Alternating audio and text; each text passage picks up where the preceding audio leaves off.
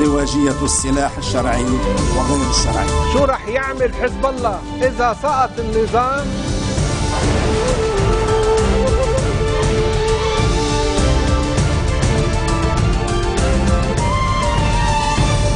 إنها السابعة والنصف مساء بتوقيت العاصمة بيروت. أهلا بكم إلى المسائية.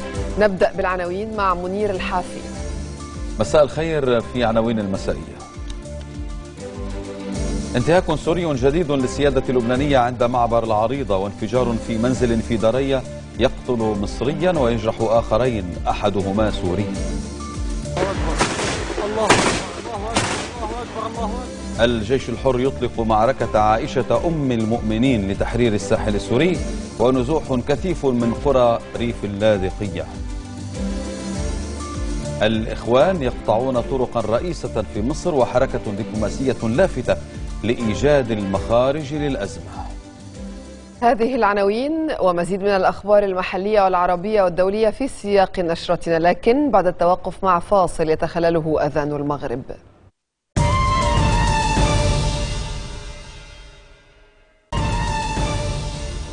المسائية مستمرة هذا تذكير بأبرز ما ورد فيها.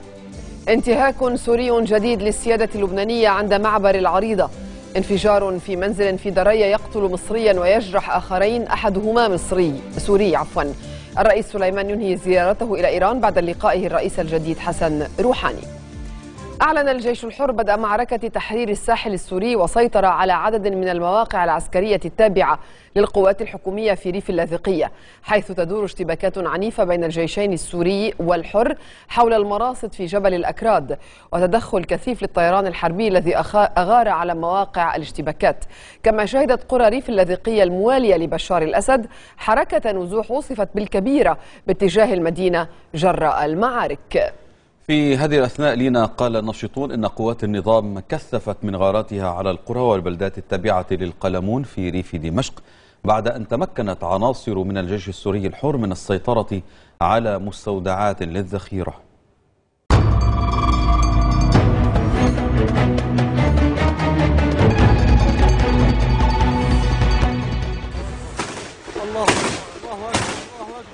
بعد إعلان الثوار بدء معركة أحفاد عائشة أم المؤمنين في ريف الساحل السوري باللاذقية قام الثوار بهجوم عنيف استهدف مراصد جيش الأسد في عدد من المناطق المطلة على منطقة سلمى.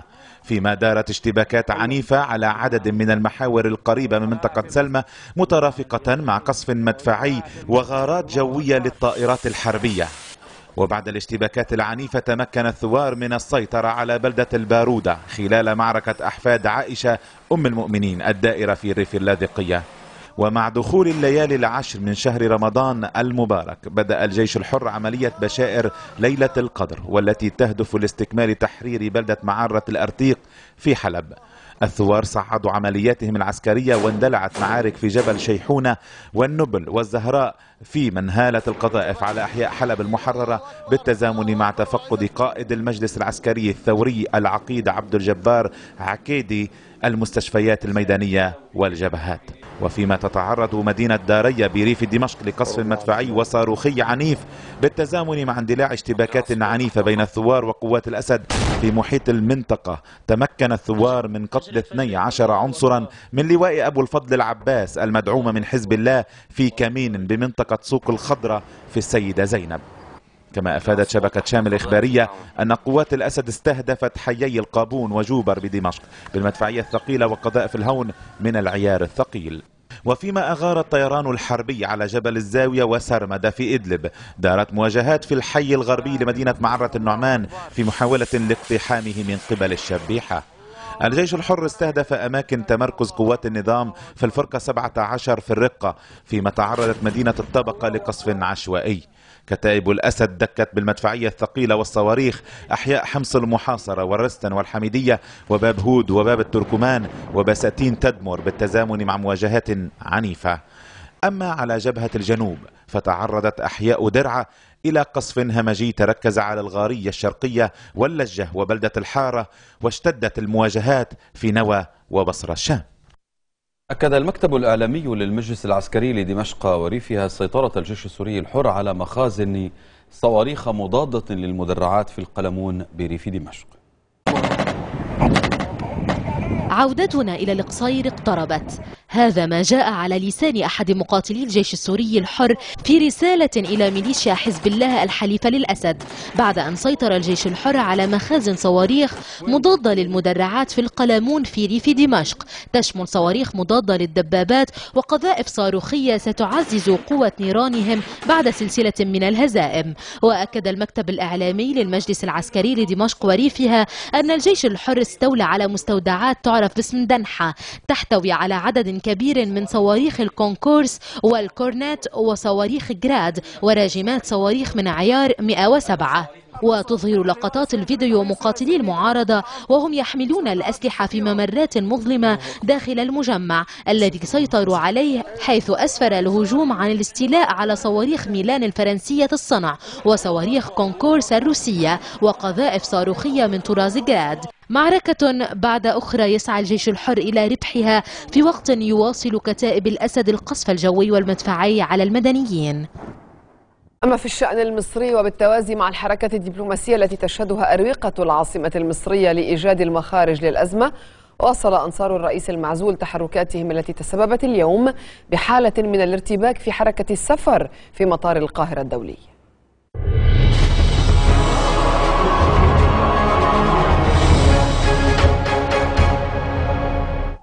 دعوة جديدة وجهها مجلس الدفاع الوطني المصري إلى معتصمي رابعة العدوية وميدان النهضة للعودة إلى الصف الوطني والالتحاق بخارطة المستقبل مع بقية أبناء مصر. وأكد المجلس المضي قدما بكل إصرار والتزام تجاه أبناء مصر في تحقيق النتائج المرجوة من خارطة المستقبل سياسيا واقتصاديا واجتماعيا مع عدم السماح لأي معوقات أن تنال من عزم المصريين أو من خطواتهم نحو مستقبلهم المستحق. الحق مشددا على دعمه الكامل لجهود الحكومة المصرية في كل الخطوات والإجراءات التي بدأت في اتخاذها بالفعل في إطار فرض الأمن ومجابهة التهديدات والخروقات الأمنية بما يتفق مع القانون واحترام حقوق الإنسان. إلى ذلك بوادر حل الأزمة السياسية في مصر بدأت تلوح في الأفق بعدما أبدى التحالف الوطني لدعم الشرعية مرونة بشأن بدء محادثات للبحث عن حل سياسي للأزمة والاعتراف بمطالب الجماهير التي خرجت في احتجاجات حاشدة في الثلاثين من يونيو أدت إلى إطاحة الرئيس السابق محمد مرسي.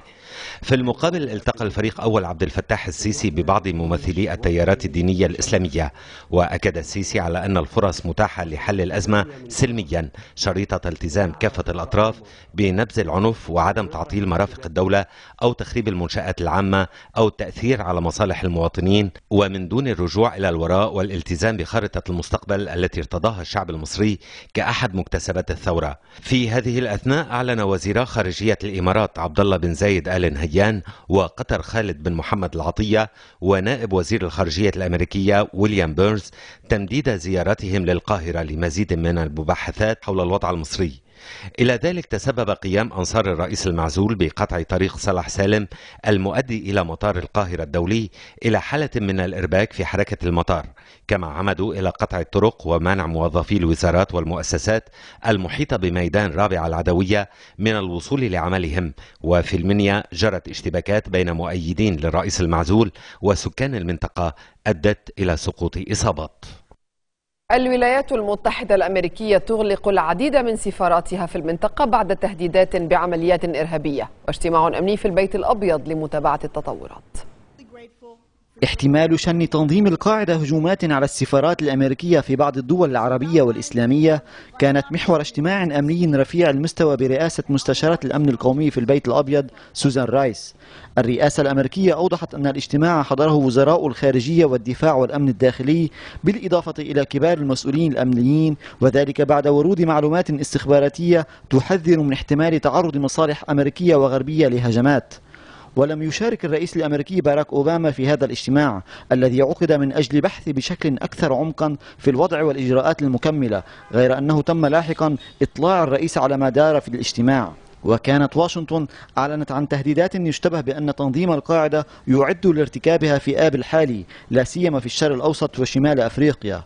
وأصدرت واشنطن تعليماتها بإغلاق جميع سفاراتها وقنصلياتها في إسرائيل والدول العربية وكذلك الموجودة في أفغانستان وبنغلاديش. وفيما تبعت الولايات المتحدة عدة دول أوروبية منها فرنسا وبريطانيا وألمانيا اتخذت قوات الأمن اليمنية والمصرية والباكستانية تدابير مشددة في محيط سفراتها في هذه الدول. أكد الرئيس الإيراني الجديد حسن روحاني أنه لا ينبغي التحدث مع الشعب الإيراني بلغة العقوبات بل بلغة التكريم. وتوجه روحاني في خطاب ألقاه أمام مجلس الشورى بعد أن أدى اليمين الدستورية إلى الدول العربية أو الغربية بالقول لا يمكن إجبار الشعب الإيراني على الرضوخ بالعقوبات والتهديدات بشن حرب والطريقة الوحيدة للتعاطي مع إيران هي الحوار على قدم المساواة وفي إطار الاحترام المتبادل. أضاف أن الجمهورية الإسلامية تبحث عن السلام والاستقرار في المنطقة وتعارض تغيير الأنظمة السياسية أو الحدود بالقوة أو من خلال تدخلات أجنبية. واختتم روحاني خطابه بعرض حكومته الجديدة التي تضم تكنوقراطا خدم معظمهم في حكومتي الرئيس الأسبق أكبر هاشمي رفسنجاني والرئيس الإصلاحي محمد خاتمي. وفي المواقف أعلن البيت الأبيض أن واشنطن ستكون شريكا أساسيا لإيران إذا سعت حكومتها الجديدة بجدية للوفاء بالتزاماتها الدولية. اعتبر رئيس الحكومة الإسرائيلية بنيامين نتنياهو أن الشخصية التي تشغل منصب الرئيس الإيراني قد تغيرت إلا أن الخارطة التي تسير إيران لم تتغير لجهة جهودها في تطوير السلاح النووي. وهذا خطر يجب أن يواجهه العالم بأسره ويجب أن تتصدى إسرائيل له. وتطرق خلال اجتماع حكومته إلى ما يسمى خارطة الأفضليات القومية. وبعد التصويت صادقت الحكومة على الخارطة الجديدة للمناطق الأولى بالرعاية الوطنية والتي تشمل مئات المدن والبلدات بما فيها 15 مستوطنة. وتم ذلك بغالبية 15 وزيرا وامتناع أربعة وزراء آخرين عن التصويت باعتبار أن هذه الخطوة تمس بجهود السلام وتعكس مصلحة سياسية حزبية. أعلنت وكالة الأنباء الكويتية الرسمية أن مصطفى جاسم الشمالي عين وزيرا للنفط في الحكومة الكويتية الجديدة. وكان الشمالي يعمل قائما بأعمال وزير النفط بعد استقالة هاني حسين وزير النفط السابق في أيار الماضي تحت ضغط من البرلمان. وعين سالم عبد العزيز السعود الصباح وزيرا للمالية.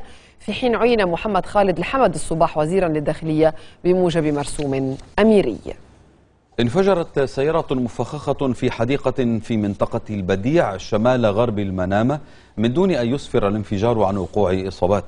وأعلنت الشرطة عن وقوع عمل إرهابي تمثل بتفجير سيارة بواسطة أسطوانة غاز عند سور حديقة يرتادها أهال أهال وأطفال من المنطقة أثناء وقت الإفطار.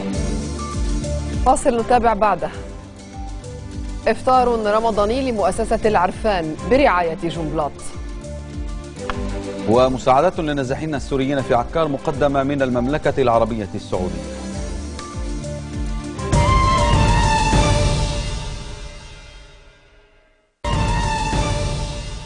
أهلا بكم. مؤسسة العرفان تنظم إفطارا رمضانيا في السمقانية برعاية النائب وليد جنبلاط وحضور المطران بولس مطر الذي رفض التقاتل بين المسلمين.